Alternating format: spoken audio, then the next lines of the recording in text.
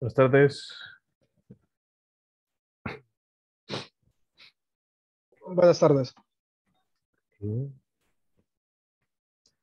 Bien, vamos a empezar la clase de hoy. Y primero vamos a abordar un hecho que sucede siempre en la humanidad y es que el ser humano cada vez que habla necesidad con, y con toda la razón tiene la necesidad de que lo que diga sea cierto, sea verdadero, sea y, o esté, esté en lo correcto. Entonces, necesitamos un, de poder asegurar, al menos poder asegurarnos a nosotros mismos antes de hablar, que lo que estamos diciendo está elaborado de una forma correcta. Es decir, de que va a ser válido, que va a... Y que va a ser fácilmente refutable a menos de que nos enseñen dónde está nuestro error, pero nosotros tenemos una sólida, probablemente muy complicada de romper. Y es que cuando nosotros argumentamos algo utilizamos algún tipo de razonamiento, usualmente utilizamos dos, eh, dos tipos de, o dos vías, por decirlo así, especialmente en la parte matemática, pero usamos esencialmente dos vías. Primero, el razonamiento deductivo, que el razonamiento deductivo es tener algo y empezar a hacer deducciones, valga la, eh, que la palabra es prácticamente un derivado, pero empezamos a hacer deducciones, empezamos a sacar información a partir inmediatamente de lo que vemos. Por ejemplo, si yo aquí coloco un triángulo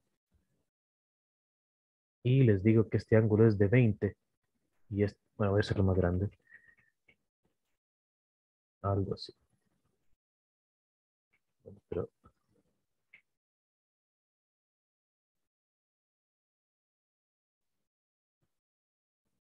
Algo así. Y les digo que este ángulo es de 70 grados y que este de aquí es de 20. Usted puede hacer unas cuantas deducciones a partir de, de este triángulo. En primer lugar, una deducción sería de que el triángulo es rectángulo, este ángulo es de 90. Esa es una, esa es una observación obtenida mediante un método deductivo, porque usamos los conocimientos que ya sabemos de triángulos, es que la suma de los ángulos internos tiene que sumar 180, así que hicimos esta deducción. Además, podemos deducir que si los catetos son A y B y la hipotenusa C, entonces c cuadrado sería igual a al cuadrado más b al cuadrado. Eso también es una deducción a partir de la deducción anterior, que fue que el triángulo era rectángulo. Entonces, ese es un ejemplo de razonamiento deductivo. Tenemos el problema y empezamos a ver los datos para empezar a deducir una cosa tras de otra hasta obtener un, un resultado o, eh, o completar el argumento que deseamos establecer. Pero por otro lado, está el razonamiento inductivo, que es un poco menos común de aplicar, sobre todo en, eh, en la universidad, porque principalmente los problemas que uno aborda en matemáticas son, aplica el método que se le explicó y llega a la respuesta. Prácticamente, únicamente método deductivo, deductivo, deductivo, todo el tiempo. Entonces, eh, Vamos a ver. Entonces, el, segundo problema que les dejé el primer día de clases es justo lo contrario. A pesar de que sí se le pide llegar a una respuesta, no es mediante un método deductivo, sino mediante un método inductivo. En un método inductivo, lo que uno hace es empezar a trabajar el problema, analizar casos pequeños, formular hipótesis y crear una conclusión general. Entonces, retomemos el problema. Problema 2. Decía, encuentre el resultado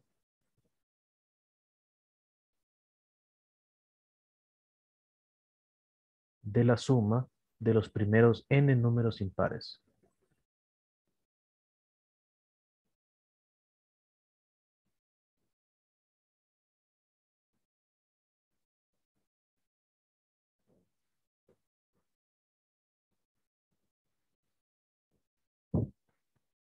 En, símbolos, pues prácticamente se le pedía encontrar el resultado de esta suma.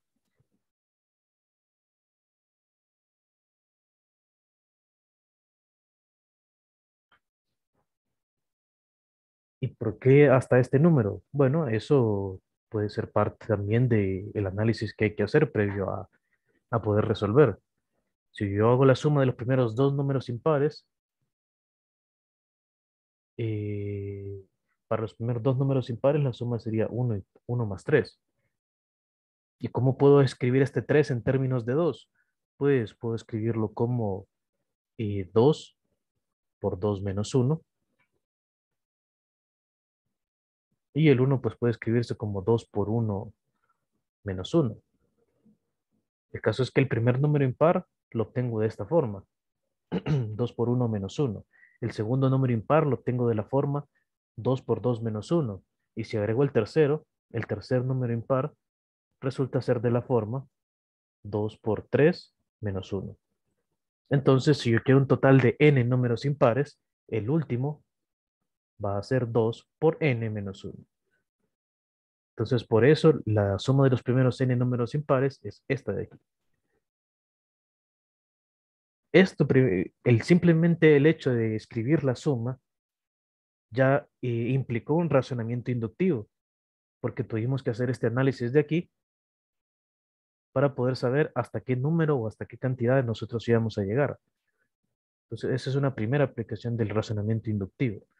Y una segunda forma en la que este problema requería un análisis inductivo es que en encontrar cuánto debería de ser la suma.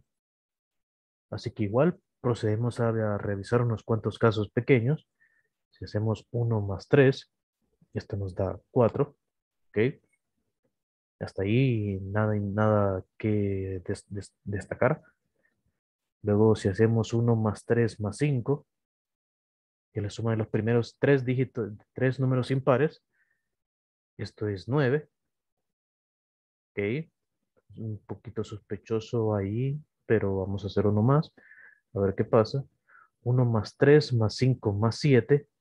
Esa es la suma de los primeros cuatro números impares. Esto es 16. Ok, esto ya eh, va dejando de parecer ser una casualidad. Es decir, la suma de los primeros dos números impares me dio 4. Y 4 resulta ser 2 al cuadrado. La suma de los primeros tres números impares me dio 9. Y 9 resulta ser 3 al cuadrado. La suma de los primeros cuatro números impares me dio 16 y resulta ser 4 al cuadrado.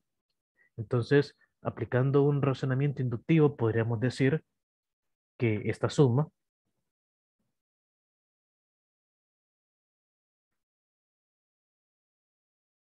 así hasta el 2n es igual a n al cuadrado. ¿verdad? Si aquí tenemos la suma de los primeros n números impares, pues esto nos daría n cuadrado a partir de este análisis que estuvimos haciendo aquí. Ahora, ¿qué es lo que sucede? Este es un razonamiento inductivo, sin ningún lugar a dudas. Sin embargo, matemáticamente hablando, tiene un pequeño hueco.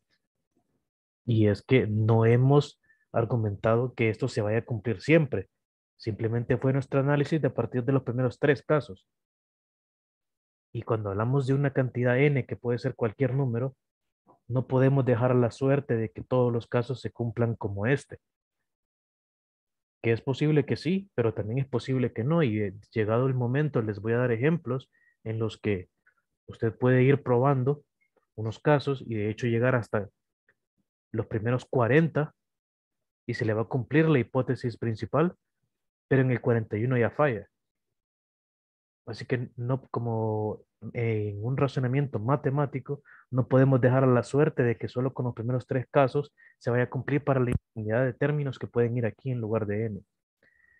Entonces, como no podemos dejar a la suerte eso, necesitamos una herramienta, algo que me ayude a justificar el cómo yo puedo establecer que esta suma realmente se cumple para todos los valores de n.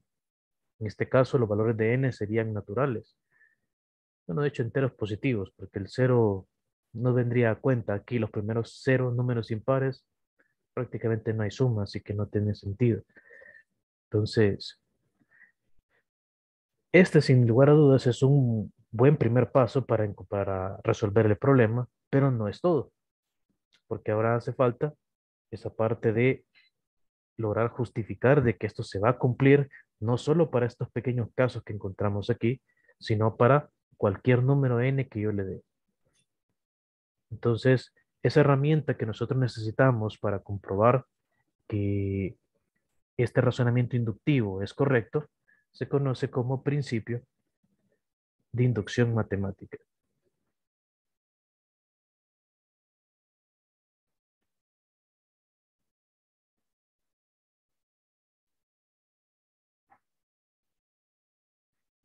A veces se le llama principio y algunas veces se le dice axioma de inducción matemática. Es prácticamente lo mismo. Eh, al final de cuentas, este principio de inducción matemática no lo demostramos porque tiene una, eh, una lógica que prácticamente no es rebatible, o sea, es tan claro que no se discute. Y luego les voy a poner un, eh, un ejemplo de por qué esta lógica realmente funciona. Entonces, primero vamos a establecer el principio como tal. Entonces, vamos a ver. Considere una serie de enunciados o fórmulas, y digo fórmulas por, o fórmulas aquí porque Principalmente vamos a estar aplicándolo a fórmulas, aunque es posible aplicarlo fuera de ese contexto. Pero considero una serie de enunciados o fórmulas enumeradas de la forma siguiente. Enumerados de la siguiente forma.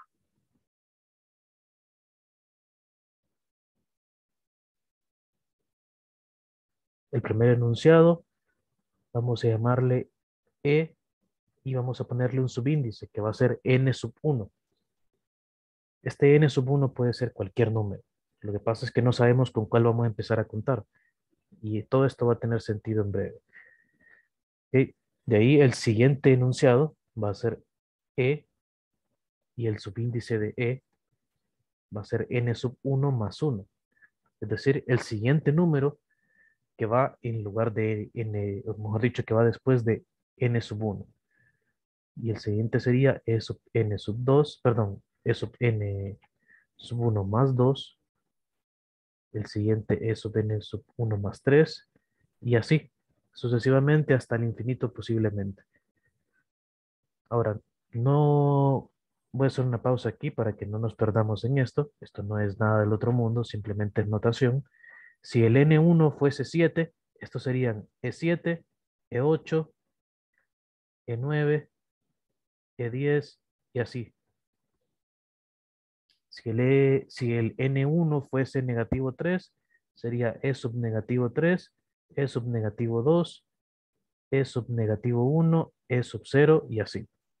Entonces no hay pérdida. Este N1 simplemente es un punto de inicio, el cual no sabemos cuál es y va a depender en sí del problema.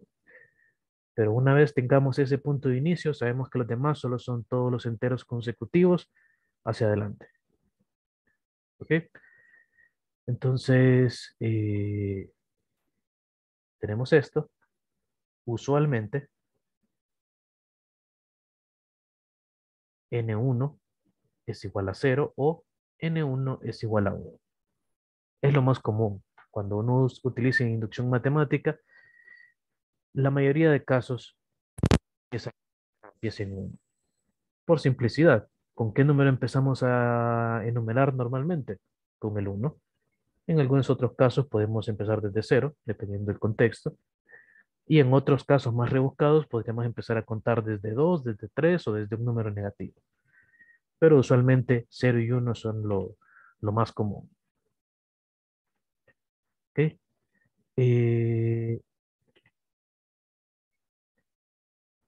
Entonces, Ok. Entonces, para algún n que sea mayor que ese punto inicial, mayor o igual que ese punto inicial, déjenme quitar esto por un momento porque esto no es parte del principio de inducción, solo era para ilustrar. Entonces, el enunciado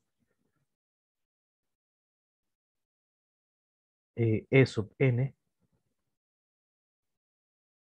se le conoce como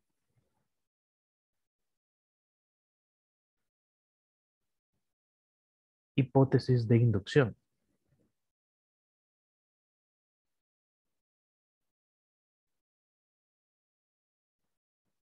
Otras palabras, si nosotros no usamos un número en específico, sino que usamos una variable y formulamos el enunciado en términos de esa variable, a eso le vamos a llamar hipótesis de inducción. Y pues posteriormente va a ser utilizada. Solamente es, eh, estamos como definiendo el principio como tal. Es mucho más fácil aplicarlo que definirlo realmente, pero eh, para poder aplicarlo hay que poderlo describir primero. Ok, entonces, una vez teniendo los enunciados enumerados de cierta forma, y teniendo nuestra hipótesis de inducción, entonces nosotros vamos a seguir una serie de tres pasos. Primero,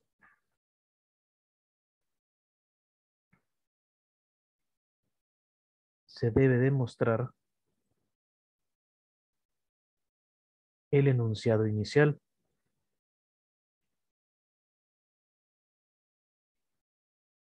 Es decir, debe demostrarse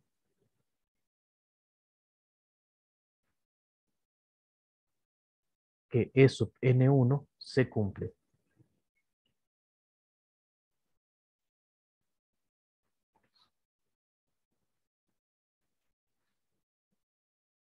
A E sub n1 se le conoce como caso base. Caso base. Y este es el primer paso de inducción, demostrar el caso base. Esto debe de hacerse, aunque en muchos problemas el caso base es evidente, vamos a terminar escribiendo cosas como 1 igual a 1, lo cual va a ser evidente, pero hay que hacerlo. Y también posteriormente, posiblemente mañana, les, les voy a dar un ejemplo de qué pasa si nos saltamos el caso base podemos llegar a conclusiones erróneas, pero entonces por eso es importante tener comprobado el caso base y saberlo eh, demostrar. Porque una cosa es establecerlo y otra cosa es demostrarlo. Ok.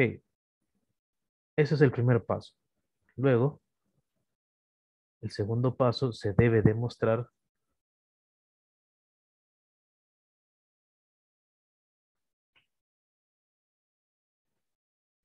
que si para algún n, si para algún n que sea mayor o igual que el punto inicial, alguno, aquí no le estamos poniendo nombre, no estamos dándole ningún valor, solo estamos diciendo que n es un número mayor que el punto inicial y nosotros tenemos que demostrar que si para alguno de esos, algún número que sea mayor que el punto inicial, se cumple E sub n, entonces forzosamente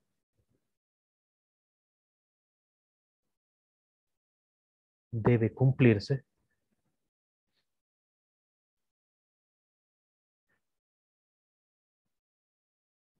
El siguiente es sub n más 1. A este paso se le llama paso inductivo.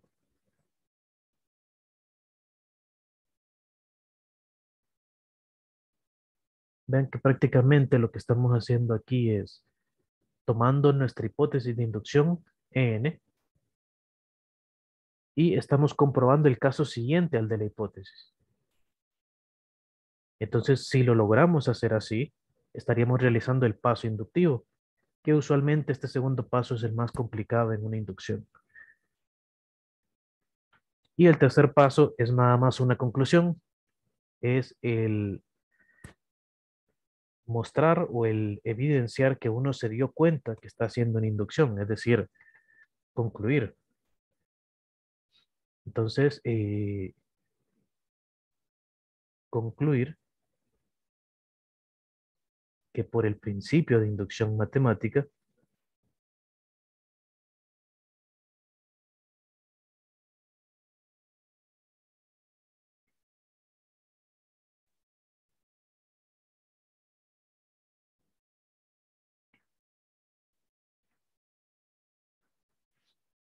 el enunciado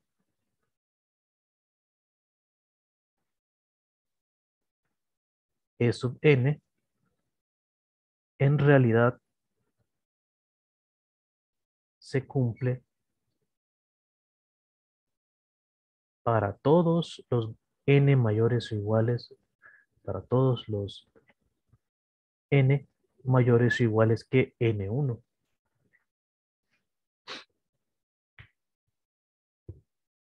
Entonces aquí hay una, una pequeña cuestión que hay, hay que dejar claros aquí. En el paso 2, el n que aparece aquí está fijo. Ese no podemos nosotros darle un valor, no podemos nosotros decir, ah, bueno, ese número tiene que ser par o tiene que ser impar, no. No podemos nosotros darle ninguna propiedad, es un número que está fijo ahí. Entonces, simplemente debemos decir que eh, un número cualquiera que sea mayor que n1. No hay que darlos nosotros, sino que considerarlo como cualquiera. Es como agarrar un maniquí y trabajar con el maniquí. No le estamos dando ninguna cara, pero estamos trabajando con todo el cuerpo como si fuese una persona. Entonces lo mismo sucede aquí. Nosotros trabajamos con esta variable sin darle ningún valor. Simplemente la trabajamos y comprobamos lo que aquí se pide. Y la diferencia con esta conclusión de aquí es porque aquí realmente estamos diciendo que todos estos enunciados, desde el N1 hasta infinito, van a ser verdaderos. Es decir, se van a cumplir. ¿Y cómo este principio de inducción se aplica a esto de acá arriba? Pues que realmente esto que nosotros formulamos aquí es exactamente la hipótesis de inducción. Entonces, esto de aquí, lo que acabamos de formular, es nuestra hipótesis de inducción.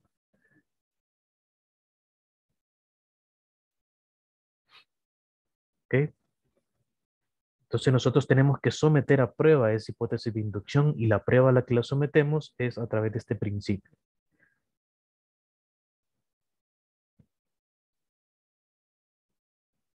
Entonces vamos a hacer ahora la demostración del problema 2.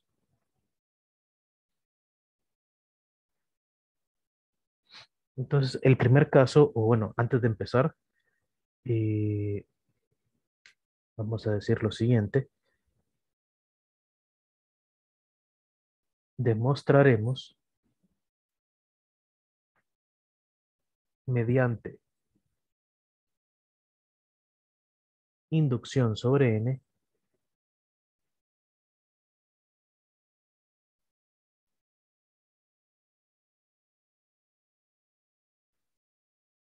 que esta suma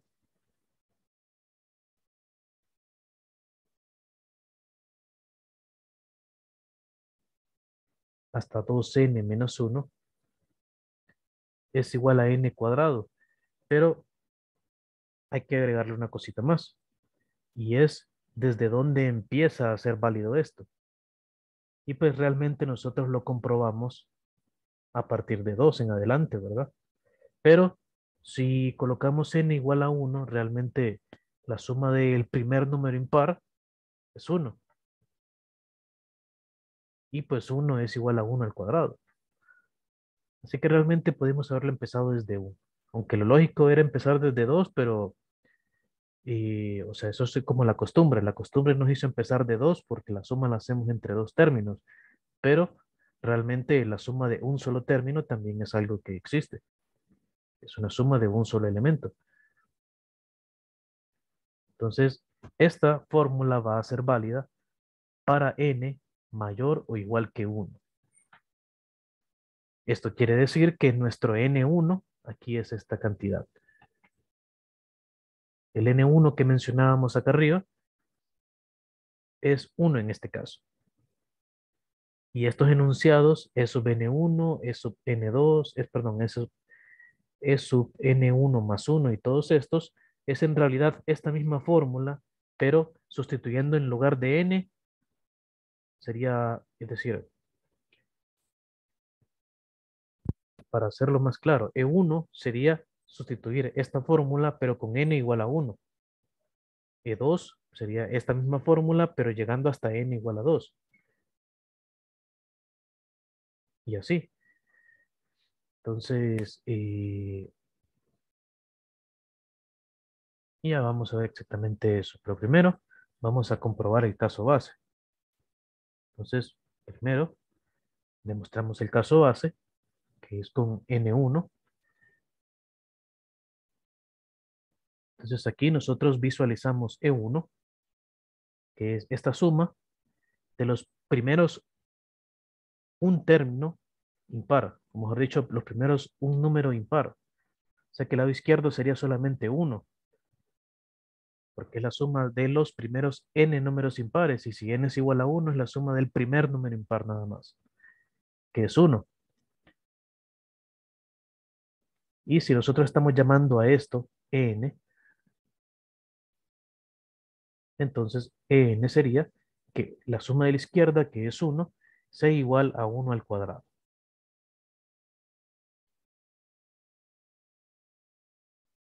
Lo cual es trivialmente cierto.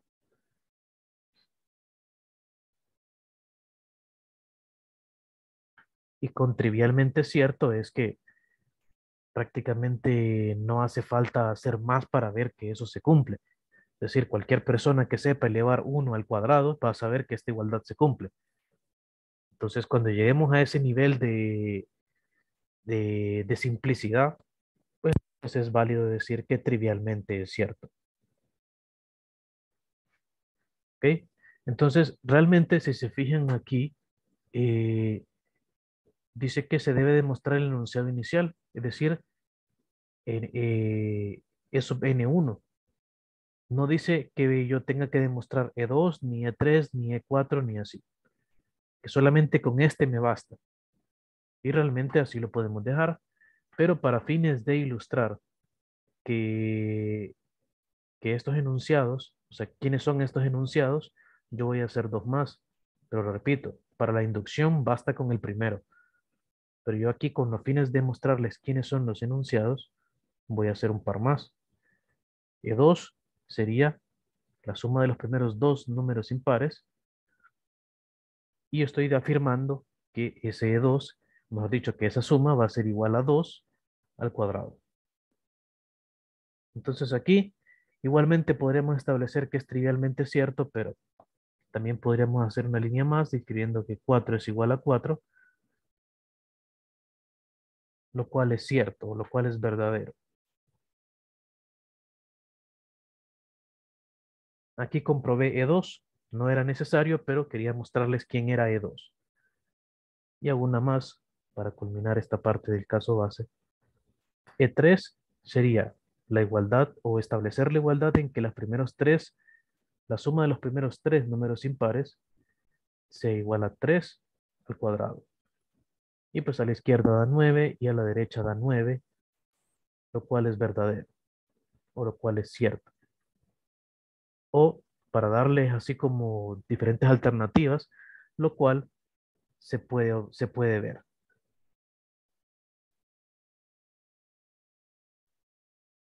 Entonces, todas estas son alternativas diferentes para decir de que algo es bastante notorio.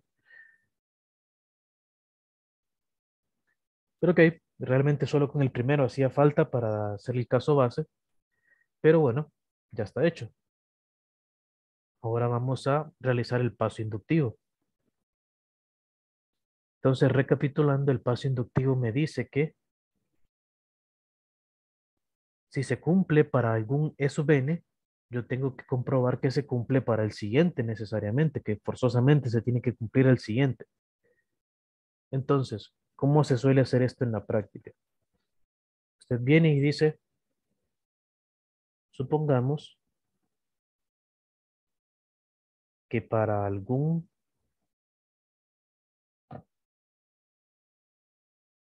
K, y a veces el K se usa solo para no volver a usar la N, ya que la N la, es como la variable del problema, ¿verdad? Así que para no repetir variables, a veces se cambia por otra letra, como una K. Supongamos que para algún K mayor o igual que 1, mayor o igual que 1 porque ese es nuestro N1, ese es nuestro punto inicial, Supongamos que para algún K se cumple la igualdad. En otras palabras, estamos diciendo que supongamos que esto de aquí es cierto para algún número.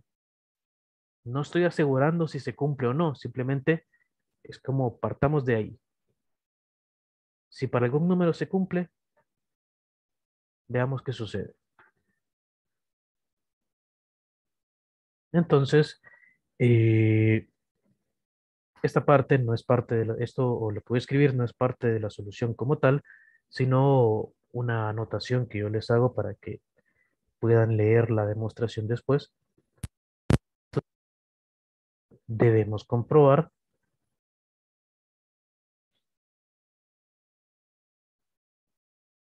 que la igualdad se cumple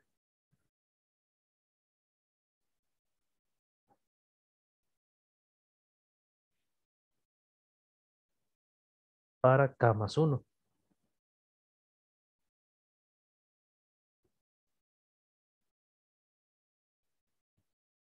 ¿Ok?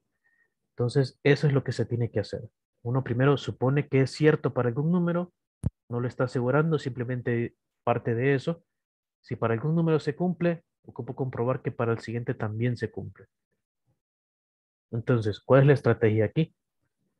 No es necesario escribirlo como tal, pero una estrategia que suele ser útil cuando estamos empezando es escribir las dos igualdades.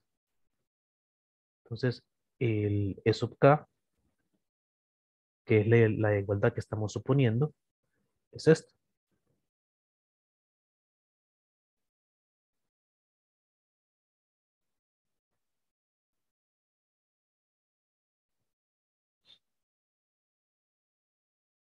Esto es lo que estamos suponiendo cierto para algún K. Y esto es nuestra hipótesis de inducción.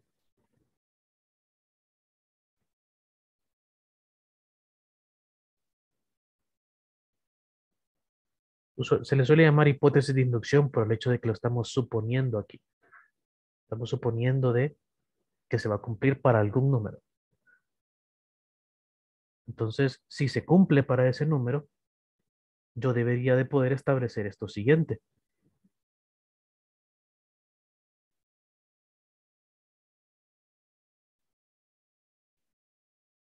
Entonces, al, el lado izquierdo sería la, suma de los primeros K más 1 números impares. Entonces, los primeros K son estos, hasta 2 sub K menos 1. Y el siguiente, que sería el, el número K más 1, sería 2 por K más 1 menos 1. Siguiendo la misma lógica que construimos al inicio. Y esto pues debería de ser igual a K más 1 al cuadrado. Ok, entonces esto es lo que se debe demostrar. Debemos llegar a esto.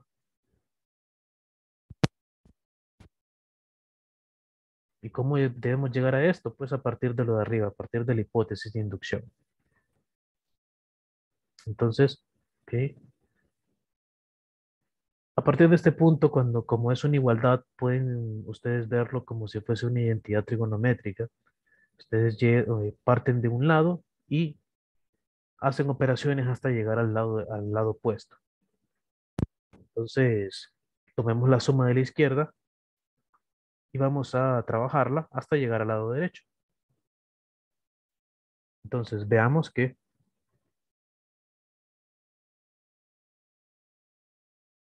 1 más 3 más 5 y así. El término 2K menos 1, que es el, el término número K, y el término número K más 1, que sería este, que ya una vez simplificado, ¿verdad? Porque aquí hay unas cuantas operaciones que se pueden hacer, quedaría 2K más 1.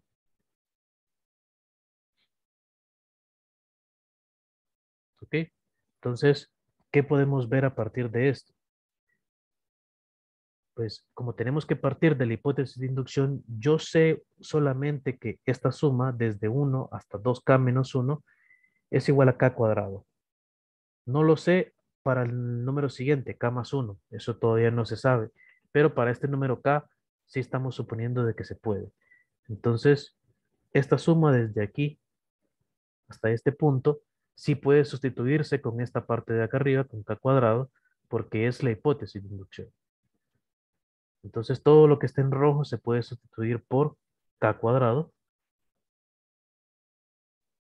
Y me quedaría el sobrante 2k más 1.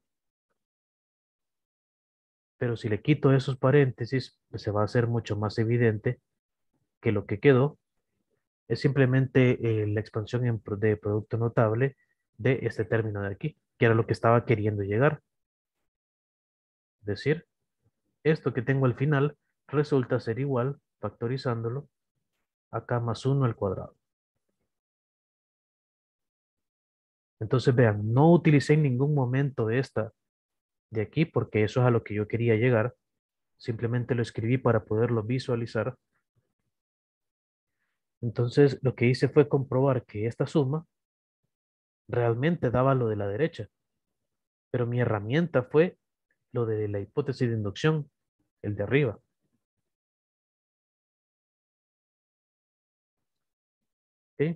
Entonces, esto prácticamente culmina el, el paso inductivo, porque yo partí suponiendo que se cumplía para algún K y logré comprobar de que forzosamente se tiene que cumplir para el siguiente.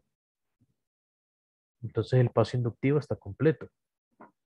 Así que solo nos queda concluir que, por lo tanto, esta suma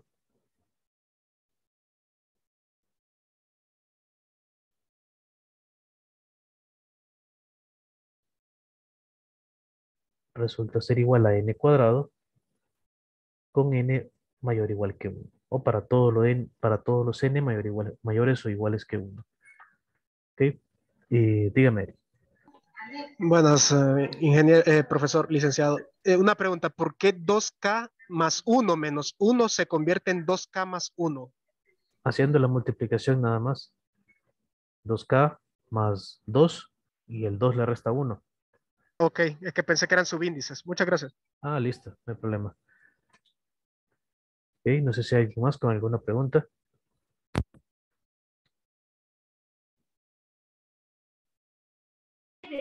Por ponerlo en otras palabras, la inducción es buscar los patrones para poder crear, sí, para poder concluir algo específico, ¿verdad? Correcto, sí. Lo único es que ese patrón también tiene que ser comprobado mediante este método. Pero sí, por lo demás está bien. Ahora, antes de hacer un, ejemplo más, simplemente voy a mostrarles cuál es la lógica detrás de este principio. Es que imagínense que tenemos aquí un,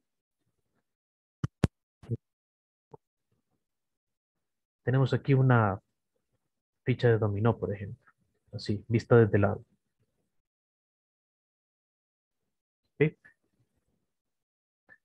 Y eh, esta ficha de dominó la voy a enumerar con el número N1. Y luego tengo otra ficha de dominó aquí más adelante, pero tampoco tan adelante, y esta la voy a llamar n sub 1 más 1. Este es solamente el número siguiente al anterior.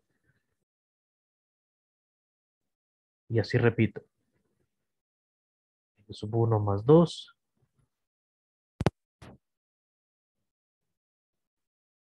N sub 1 más 3 y así.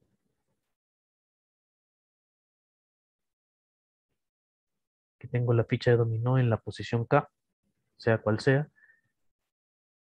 Y aquí tengo la K más 1. Y ahí continúa. Entonces, eh, el paso 1 de la inducción es equivalente a que yo venga y empuje esta ficha de dominó y haga que caiga sobre la otra.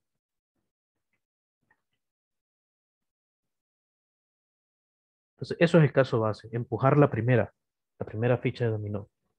El paso inductivo es asegurarse que la distancia entre cada dos, o sea, ese que es como asegurarse que la distancia entre cada dos fichas de dominó que hay aquí sea lo suficientemente pequeña como para que cada ficha que se caiga empuje a la siguiente. Eso es el paso 2, el paso de la, hipótesis, perdón, del paso inductivo. El paso inductivo en este sentido sería asegurarse que cuando una caiga, la siguiente va a caer porque está lo suficientemente cerca. O mejor dicho, está a una distancia adecuada. Porque de repente si está demasiado cerca no se cae, sino que solo se recuesta. Pero que está a una distancia adecuada para que la siguiente ficha caiga. Y así con la siguiente. Y así con la siguiente. Realmente lo que hace el paso inductivo es asegurarse en, un solo análisis que todas las fichas están a la, a la separación idónea para que cuando una caiga, la siguiente también. Eso es el paso inductivo. Ahora, ¿cuál es el resultado del proceso en general? Si yo empujo la primera ficha y el paso inductivo me asegura que se va a caer la segunda, entonces, cuando la segunda caiga, el paso inductivo me asegura que la tercera cae. Y si la tercera cae, me asegura el paso inductivo que la cuarta también. Y si la cuarta cae, va a caer la quinta, la sexta, la séptima y así. Sucesivamente. Y si yo coloco infinitas fichas de dominó, pues infinitamente se va a repetir. Entonces, esa es prácticamente la lógica que va, que va detrás. A nosotros por comprobar el caso base, estamos empujando la primera ficha. Y con el paso inductivo estamos asegurando que la siguiente ficha, después de cuando una ficha caiga, la que está justo después va a tener que caerse sí o sí. Eso es lo que hacemos con el paso inductivo. Entonces, esa es la lógica que está detrás. Y pues, si esa es la lógica, pues no cabe duda de que al final todas las fichas van a caer. De que si yo me detengo en un cierto número, por ejemplo en el número 300 millones, con esta lógica de aquí, yo sé que tarde o temprano la, que está en, la, en el número 300 millones va a caer. Y si me voy más largo, también va a terminar cayendo en un determinado momento. Entonces, eso es prácticamente el principio de inducción matemática. Que tarde o temprano la propiedad va a cumplirse simplemente por el hecho de que el número anterior tiene que hacer que se cumpla eh, la siguiente.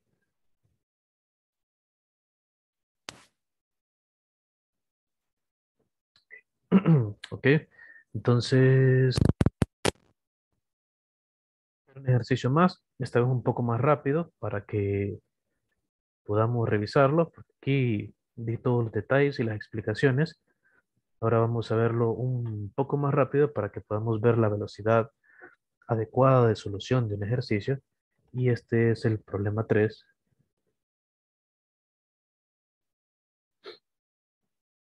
¿Cuál dice que demuestre que para todo número natural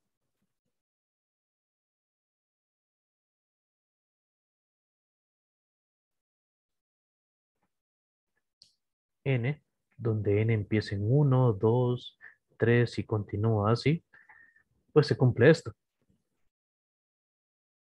1 al cuadrado, más 2 al cuadrado, más 3 al cuadrado, y así hasta n al cuadrado, esa suma de los, cuadrados de los primeros n números resulta ser igual a un sexto de n por n más 1 por 2n más 1. ¿Ok? Entonces prácticamente si usted quiere sumar los cuadrados de los primeros n números, pues es más fácil que mejor solo estas, cuatro, estas tres multiplicaciones o, eh, o estas dos multiplicaciones y esta división. Ok, pero bueno, aquí prácticamente nos ahorraron la parte de deducir la fórmula, pero todavía es parte de comprobarla. Entonces, eso lo vamos a comprobar mediante inducción y siguiendo los tres pasos. Primero, el caso base. El caso base es cuando n es igual a 1. ¿Por qué cuando n es igual a 1? Porque es el primer término donde empieza a ser válida la igualdad. Entonces, para n igual a 1, vemos que 1 al cuadrado, que sería el único término de la izquierda, sería igual a 1 sobre 6 por 1 por 1 más 1 por 2 por 1 más 1. Ve que aquí en la derecha solamente sustituía en lugar de n igual a 1. Ok, entonces al lado izquierdo me queda 1 y al lado derecho queda un sexto. Por 1 sigue siendo un sexto. Luego este es por 2 y el otro es por 3. Y pues aquí ya se puede observar de que 1 sería igual a esto, que también es 1.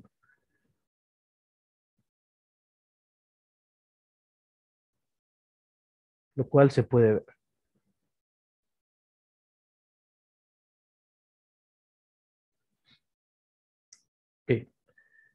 Ahora vamos a desarrollar el paso inductivo. Entonces, supongamos que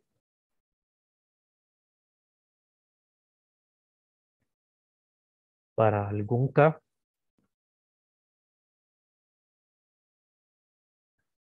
la igualdad se cumple, es decir, que esta igualdad es válida para n igual a k. Pero, por cierto, aquí este k es necesario que pongamos que es mayor o igual que 1. ¿Por qué? Porque tiene que ser mayor o igual que de donde nosotros empezamos. Entonces, esto va a ser un sexto por k, por k más 1, por 2k más 1. Entonces, ¿qué debemos hacer nosotros? Comprobar de que la suma hasta k más 1 al cuadrado tiene una forma parecida. Entonces, aquí como seguimos eh, eh, practicando, vamos a escribir debemos, ver, debemos comprobar que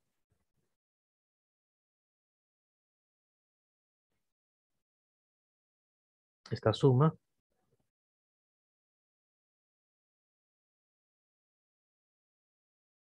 va a ser igual a un sexto por k más 1 por k más sería, a ver, k más 1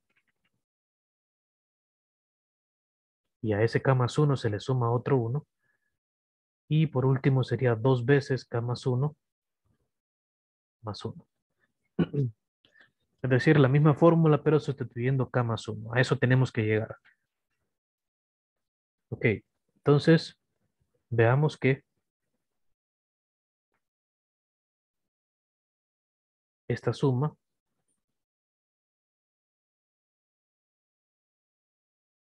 Hasta K más 1 la podemos escribir como un sexto de K por K más 1 por 2K más 1 más K más 1 al cuadrado. ¿Qué hice aquí? Simplemente aplicar la fórmula de aquí arriba solamente hasta de este punto aquí. Eh, lo, lo, que he supuesto me dice que esta primera parte la puedo sustituir por esto. Y eso fue lo que hice. Ahora lo que toca hacer aquí son arreglos algebraicos hasta llegar a esto de aquí. Entonces, lo más que puedo hacer ahí de, momento es sacar de factor común un sexto por k más 1. Entonces, yo saco de factor común un sexto por k más 1 me quedan K y 2K más 1 del primer término. Y en el otro término tendría yo un 6 y K más 1 y así nomás. Ahí sacar factor común nada más. Hacemos las multiplicaciones adentro de los corchetes. Nos queda 2K cuadrado más K más 6K más 6. Seguimos simplificando.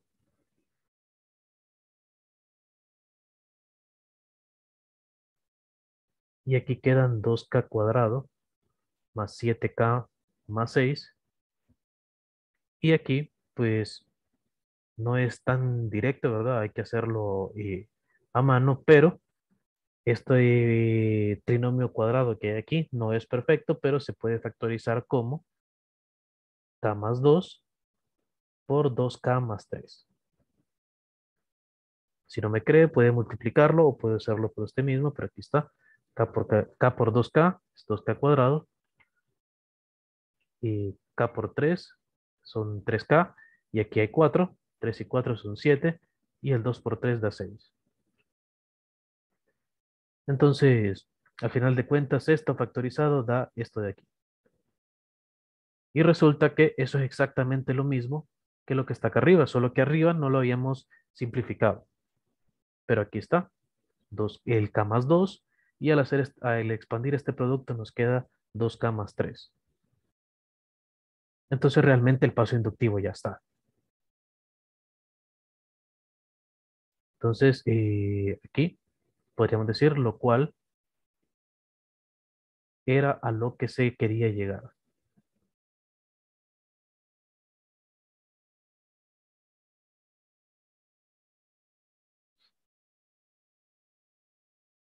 Y paso 3, por lo tanto, y escribimos la, y la fórmula inicial pero ya asegurando con toda propiedad de que se cumple.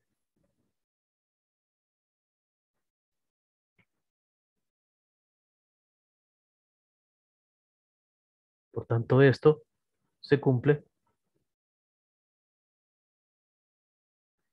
para n igual 1, 2, 3 y así.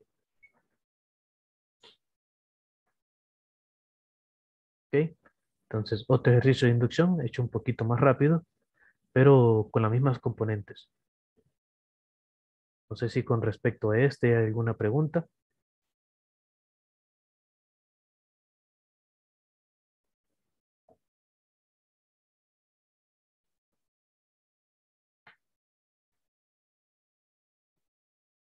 entonces les dejo uno pequeño para que ustedes lo prueben hacer para que lo practiquen, así ven cómo van o cómo le van entendiendo para mañana. y eh, pruebe que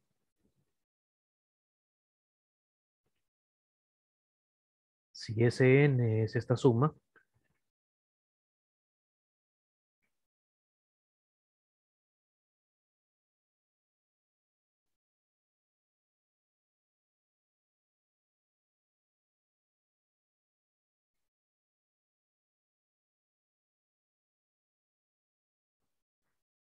sea, es 1 entre 1 por 2, más 1 entre 2 por 3, más 1 entre 3 por 4 y así, hasta 1 por n, 1 eh, sobre n por n más 1. Eso es el término Sn. Entonces pruebe que si Sn es esto, para n mayor o igual que 1, entonces Sn en realidad es n entre n más 1. Entonces lo que tiene que comprobar es que esta suma que les puse aquí, en realidad es esta fracción de aquí. Entonces lo dejo con ese problema para que lo puedan intentar para mañana y pues mañana lo resolvemos y hacemos otros comentarios acerca de inducción. Entonces, a menos que haya alguna pregunta eh, restante, los dejaría por aquí.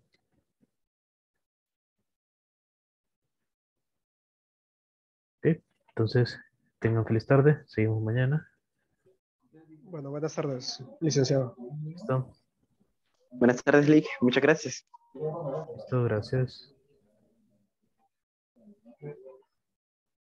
Feliz tarde, Luis. Muchas gracias. Gracias.